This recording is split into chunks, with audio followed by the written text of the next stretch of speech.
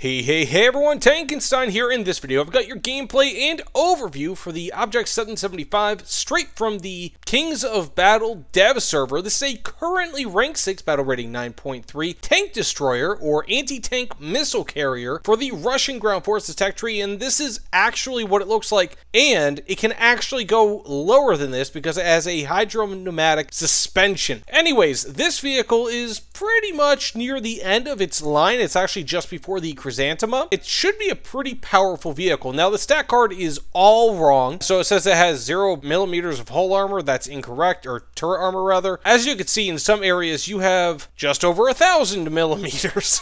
so it's, it's a little bonkers. Uh, and then, you know, of course, in the hull, you have 90 millimeters thick, but it is constructed at 75 degrees, which means that this thing will ricochet a ton of shots. Now, also, interestingly, it fires the Rubin or Rubin or whatever you want to call it, which is the only vehicle in War Thunder, I think, that currently fires this. And it has 500 millimeters of armor pen, which in 9.0 BR, 9.3 rather, is not all too bad, not fantastic, not terrible, and it's not tandem charge. So it will be stopped by a decent amount of ERA, given, again, its relatively low armor pen and the fact that it's not tandem charged. Now, it does fly decently quick at 550 meters per second, but you also have the BUR, the BUR, which is basically an HE shell, but kind of like heat in a way. Like the way it fires, it's a little bit weird, but it's still a pretty cool shell. Now, the thing with this vehicle, at least as of yet, it does not have any laser rangefinder, doesn't have any regular rangefinder, nor does it have thermals or night vision. I'm not sure if those are going to come into War Thunder with this thing or what, but overall, looks like it should be a pretty fun, or more so a funny tank. This is like a top tier meme tank, so I'm pretty stoked. So that said, let's get into a few matches, test this mother, this mother jammer. I was gonna say the this mama Jam out, but uh, Mother came out. I don't know why. Anyways, let's go ahead and test this thing out and see what it can do. Okay, we have an enemy tank on the C point.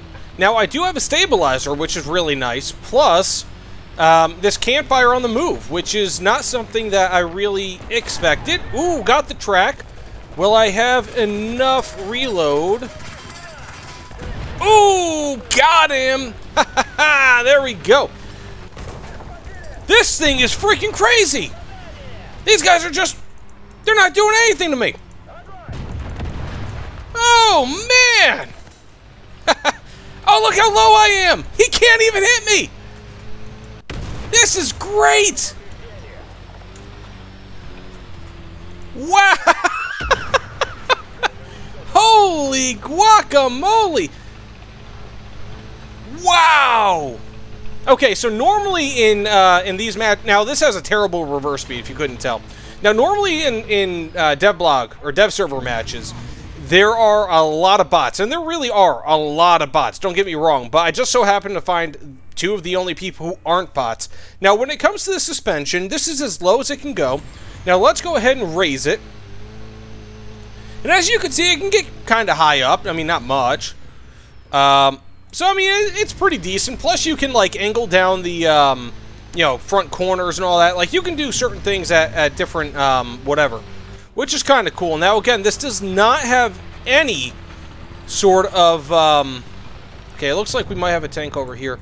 This, unfortunately, lacks uh, thermals. But, eh, it is what it is, right? At least for right now, it lacks thermals.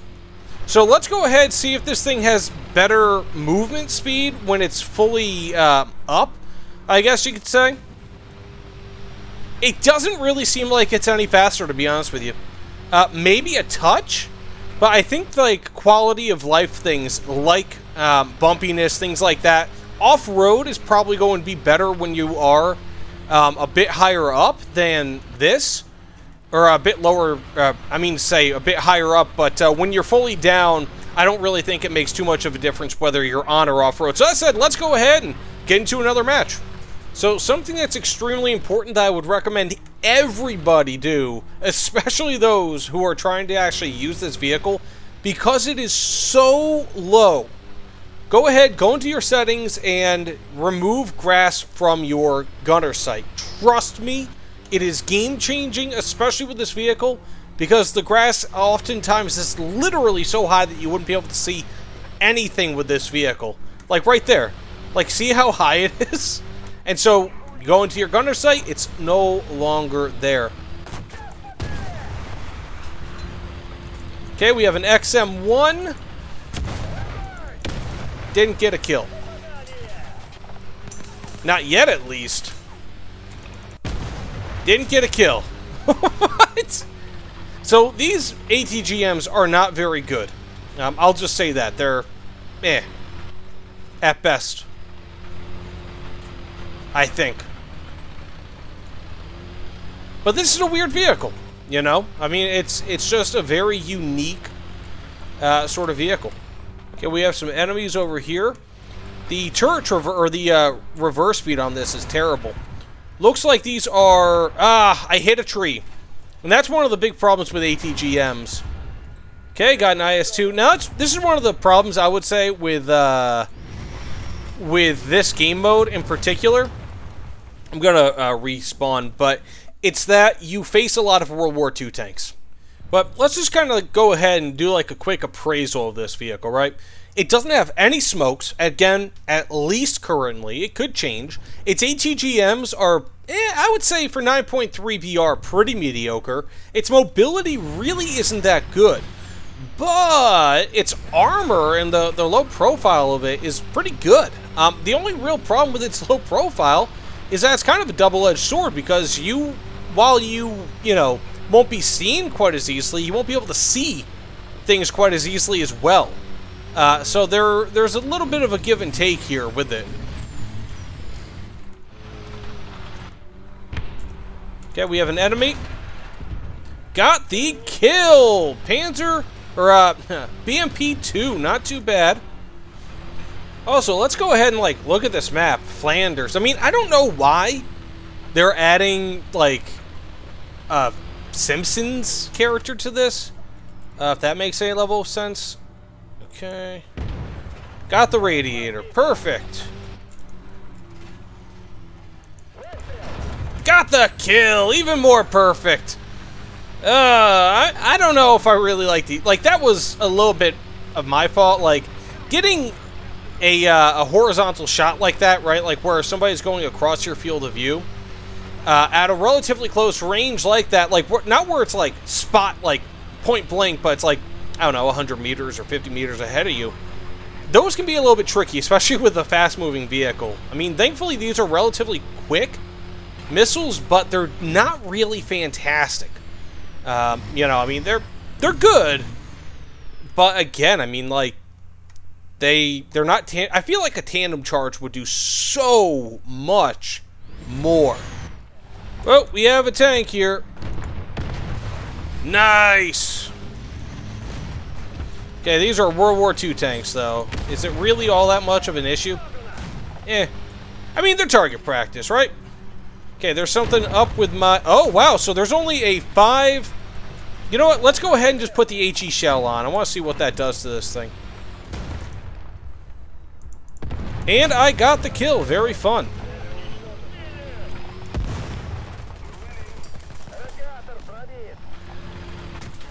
Ah, sorry about that, buddy. this thing is great. I mean, like, I have to imagine that they're just kind of being deflected or ricocheting right off the front of this thing. Like, it seems like that's what's happening. Uh, and in that case, I mean, this thing is great. It's fantastic in that regard. You know?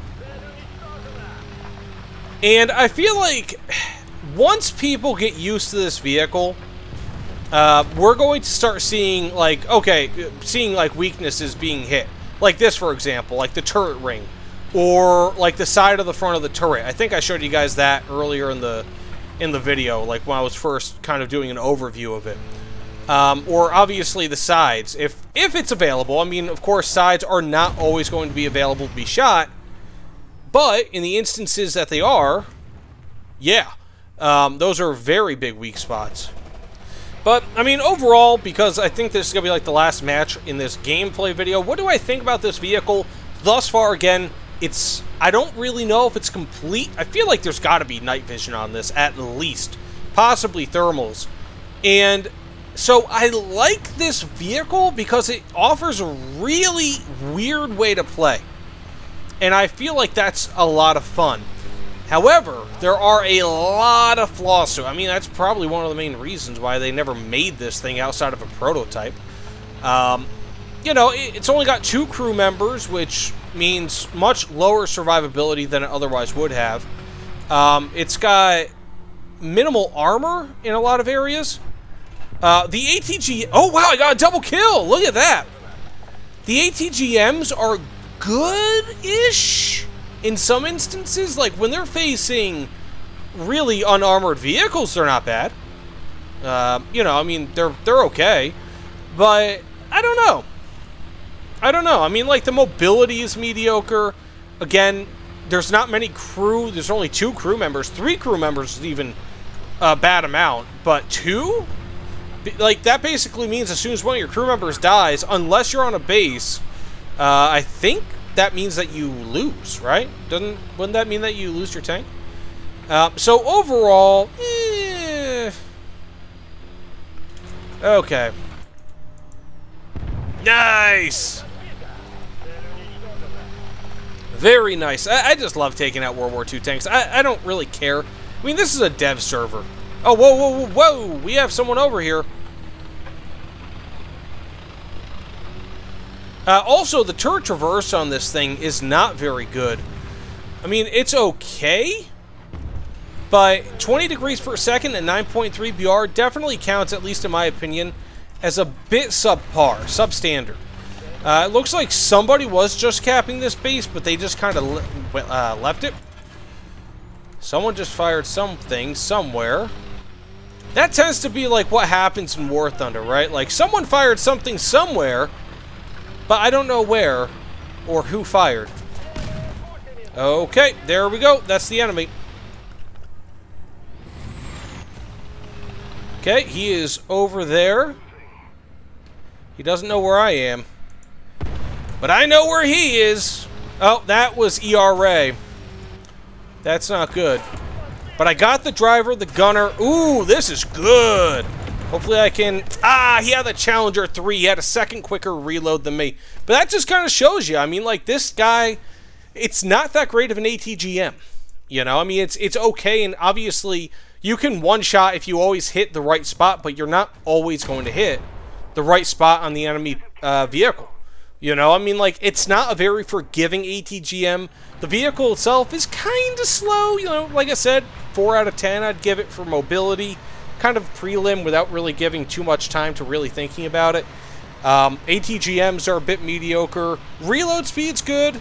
Survivability of the vehicle is good from the front. Crew, not good. Um, it's a really fun vehicle, though. It's a meme vehicle. I mean, like, a lot of vehicles in War Thunder, they don't necessarily have to be good to be fun. And this is one of those vehicles. I think it can be really, really good in many instances. I think people can tear up enemy teams with it.